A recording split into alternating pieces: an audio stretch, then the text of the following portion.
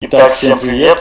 Я, а, мы приветствуем вас с Никитой, и сегодня мы расскажем о нокаут-чемпионате Феникса, о том, как он будет проходить и зачем мы его проходим. Давай, Никит. Да, во-первых, я думаю, стоит начать с того, что он начинается 3 августа, то есть уже совсем скоро, и он будет являться, так сказать, одной, одним из этапов отбора на матч э, с чемпионом Феникса, а также на турнир претендентов. А ты сайт переключил? Пытаюсь. Ну вот, собственно, отборочный цикл, вкратце.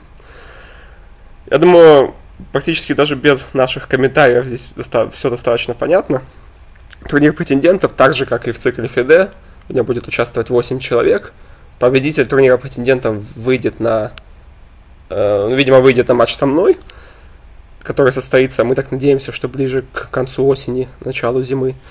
А для того, чтобы попасть в турнир претендентов, это не так легко. Для этого есть два пути – либо нужно попасть э, в двойку, то есть попасть в финал предстоящего совсем скоро нокаут турнира.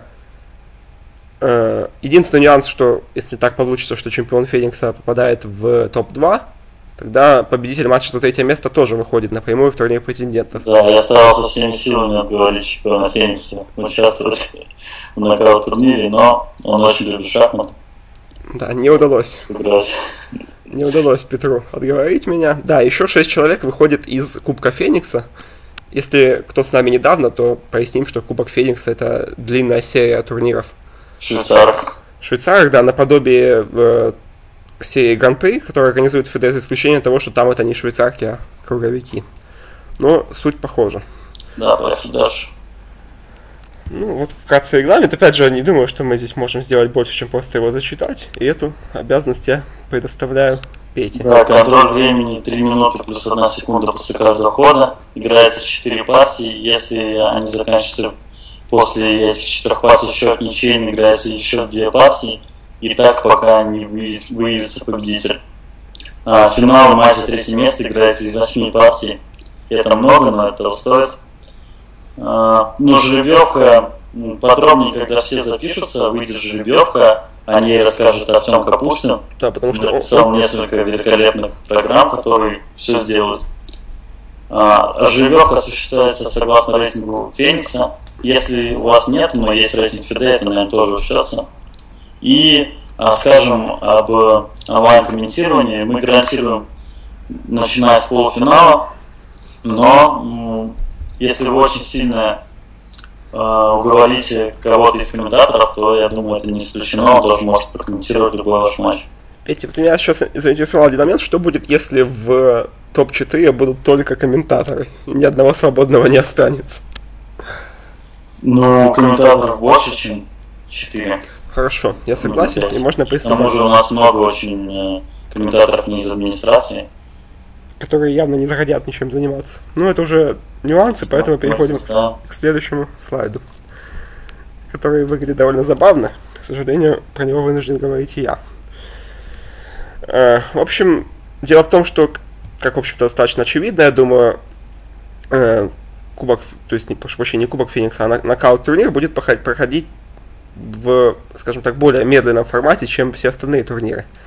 Поскольку у нас будет играть ну, либо 32, либо, может быть, даже 64 человека, если очень повезет, то на каждый, на то, чтобы сыграть все эти 4 или в случае с финалом матча на третье место 8 партий, будет отводиться 3 дня. И для того, чтобы э, не получить техническое поражение, нужно выполнять, собственно, все шаги, которые указаны на этом слайде. Для начала, когда вы видите жеребьевку, которая будет вывешиваться в э, группе, так же, как и сетка всего нокаута. После этого вы должны списаться с соперником ВКонтакте и договориться с ним.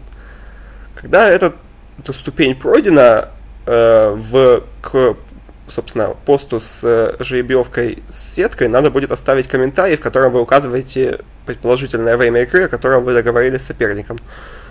После этого либо судья, либо вы сами создаете э, беседку на троих человек, в которой будет, э, собственно, вы ваш соперник, а также э, один из судей. О судьях в дальнейшем скажет Петя. Э, как я уже говорил, на игру отводится три дня. В том случае, если матч не состоялся, требуется от того участника, который не виноват в том, что матч не состоялся, от него требуется скинуть э, либо скриншот диалога с соперником, либо какое-то другое доказательство, что, собственно, он здесь ни при чем, и он был готов играть. Да.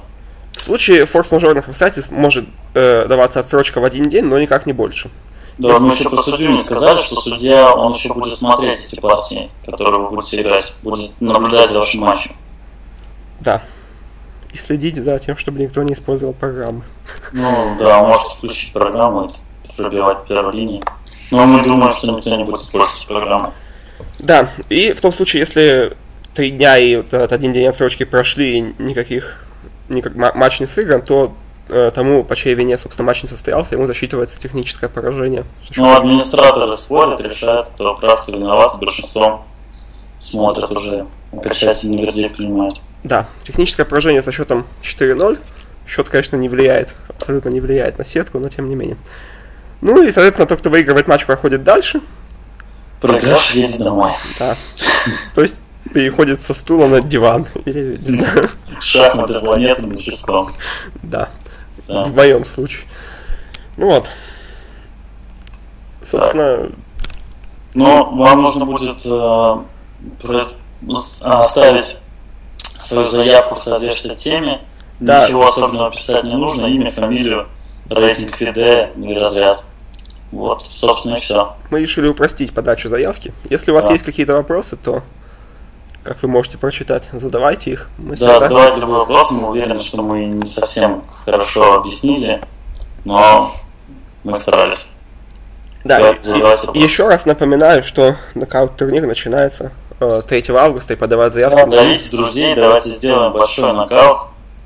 Мы будем стараться, чтобы турнир вам запомнился. Делайте репосты, зовите друзей. Если вы думаете, играть или играть, не играть, обязательно играйте. Потому что, как известно, подтвердит э, Дмитрий Андрейкин, Руслан Касумжанов, Александр Халифман и прочие нокаут чемпионы, то, что может выиграть любой. Если, если, если у вас есть 2700, то у вас есть шансы победить. Нет, действительно, Андрейкин 40 номер. Также 40 номер нашего рейтинга это шахматисты 200, 2300 на планете, например. Да, только загвоздка в том, что Андрейкин не выиграл его, но это уже нюанс. Да, но он прошел в турнир президента и прославился на весь мир и при, при, получил приглашение в супертурниры. И все это вас ожидает, если вы сможете... Так началась карьера. Он хотел вообще завершать, а тут бам, все. Да, так что все возможно. Все, все, спасибо. Да? Да-да.